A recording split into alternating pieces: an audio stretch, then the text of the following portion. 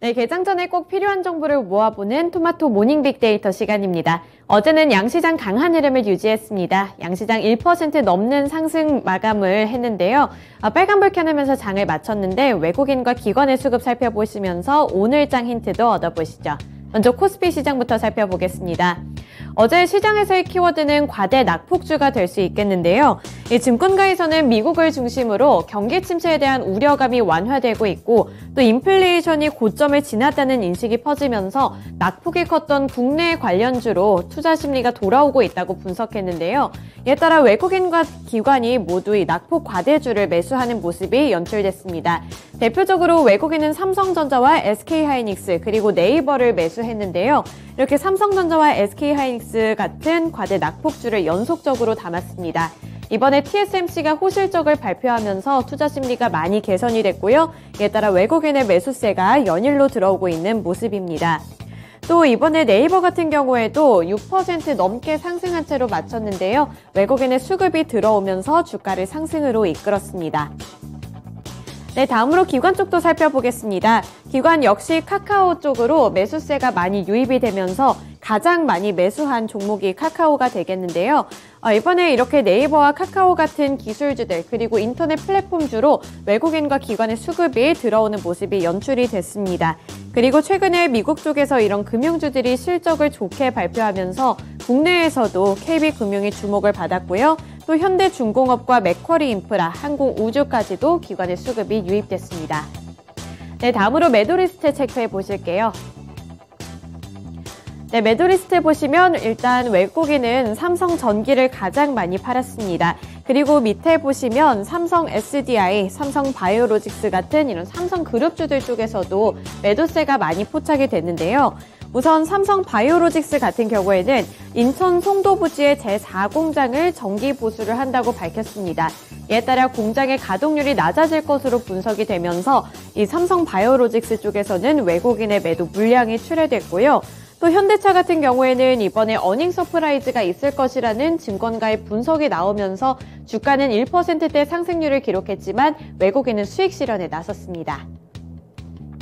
네, 이어서 기관 쪽도 살펴보겠습니다. 기관은 외국인과 다르게 삼성전자와 SK하이닉스 같은 반도체 투톱을 모두 팔았는데요. 특히 삼성전자는 기관이 이 삼성전자가 5만 원대에 있을 때 많이 매수를 했는데 이번에 이렇게 주가가 급등하자 삼성전자 쪽에서 매도 물량을 출했고요. 차익 실현 움직임에 나섰습니다. 그리고 셀업체 쪽에서는 LG 에너지 솔루션을 가장 많이 팔았고요. 밑으로 셀트리온과 SK텔레콤도 기관이 매도한 종목이 되겠습니다. 네, 이어서 특징주 살펴보겠습니다. SK텔레콤인데요. 이번에 중간 요금제 출시 기대감에 주가가 상승했습니다. 아, 오는 8월에 5G 중간 요금제 출시가 기대된다는 소식에 투자자들의 관심이 몰렸는데요.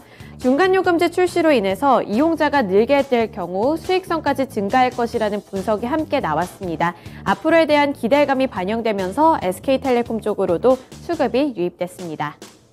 네, 이어서 코스닥 시장도 살펴보겠습니다.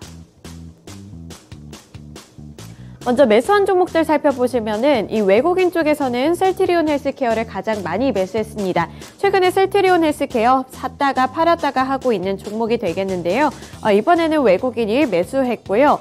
또 밑으로 보시면 레고캠 바이오도 있습니다. 최근에 이렇게 바이오 관련주들로 관심이 많이 쏠리고 있는데 레고캠 바이오는 외국인이 매수 전환한 이후 3일 연속으로 사들였습니다. 그리고 코스닥 시장에서도 과대 낙폭주로 분류되고 있는 이런 게임주들, 컨텐츠 관련주들 쪽으로도 외국인의 수급이 들어왔는데요. 대표적으로 컴투스와 넥슨 게임즈가 있습니다. 지금까지 낙폭을 너무 많이 키웠다는 분석과 함께 앞으로의 신작 기대감까지 받으면서 리스트에 이름을 올렸습니다. 네, 이어서 기관 쪽 살펴보겠습니다. 기관 살펴보시면 2차전지 관련 주들로 다시 한번 수급이 유입됐는데요. 대표적으로 에코프로비엠 그리고 상신 EDP가 있습니다. 또 JYP 엔터테인먼트 쪽으로도 엔터주 쪽으로 수급이 유입되면서 JYP 엔터테인먼트가 이름을 올렸고요. 또 아프리카 TV도 있습니다.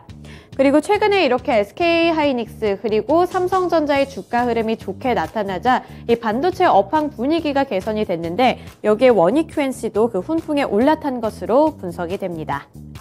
네, 이어서 매도 리스트 체크해 볼게요. 네, 우선 외국인은 에코프로비엠을 가장 많이 팔면서 차익 실현에 나섰고요. 또 HLB 이쪽에서도 출, 매도 물량이 출회됐습니다. 그리고 심텍 같은 경우에는 반도체 훈풍에 올라탔습니다만 이번에 외국인 쪽에서 매도 물량을 출회하면서 리스트에 오른 종목이 되겠고요. 또 JYP 엔터테인먼트는 기관과 다르게 외국인은 팔았습니다. 네, 다음으로 기관 쪽 살펴보겠습니다. 기관의 매도 리스트 체크해 보시면 셀트리온 헬스케어를 가장 많이 팔았는데요.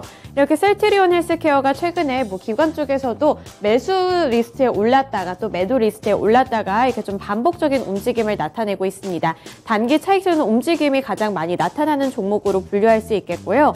또 2차 전지 쪽에서는 엘앤에프를 가장 많이 팔았네요.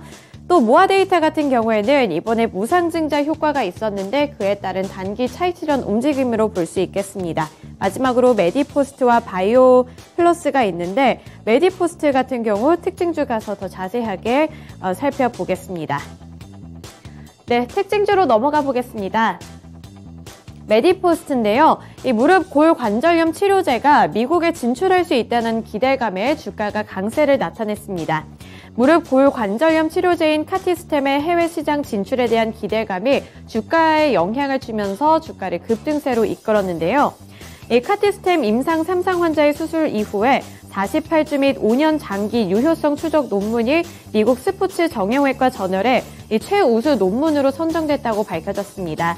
어, 그만큼 기대감을 받고 있고 앞으로 이 실적에도 좋은 영향을 줄 것이라는 분석이 함께 제기되면서 이 메디포스트 쪽으로 수급이 많이 몰렸습니다.